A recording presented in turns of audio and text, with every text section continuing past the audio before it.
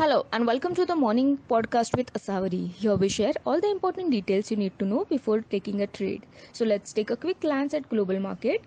The S&P 500 closed lower on Wednesday as news of spiking pandemic data and the prospect of new round of economic slowdown dampened the investors' optimism over the sign of economic recovery.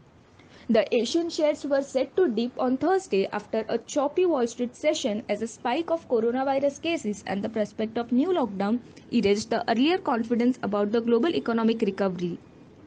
The trends on SGX Nifty indicate negative opening for broader index in India with a loss of 79 points. Nifty futures were trading around 9785 level on Singaporean exchange. The crucial levels to look out for Nifty are 10,050 level on the upside and 9,750 level on the downside.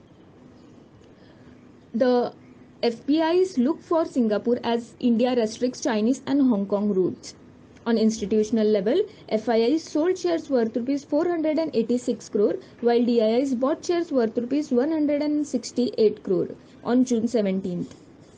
Lastly, let's take a look at few stock specific. Five stocks including Adani Enterprises, Escorts, Vodafone Idea, Jindal Steel and Just Dial are under FNO ban for June 18th.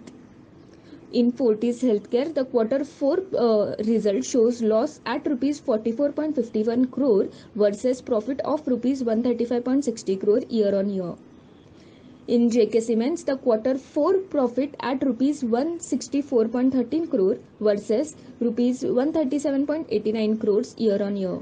In IGL, the in IGL the quarter 4 profit at rupees 290.76 crore versus 228 crores uh, year on year. Lastly, let's take a look at few uh, results that we are expecting today. Bajaj Consumer Care, IRB Infrastructure Developer, City Union Bank, Suven uh, Pharmaceuticals, Amrutanjan Healthcare, VST Tillers Tractors, and Whirlpool India. That's all from my side. I hope uh, I hope you have a safe trading and uh, you stay safe. Thank you.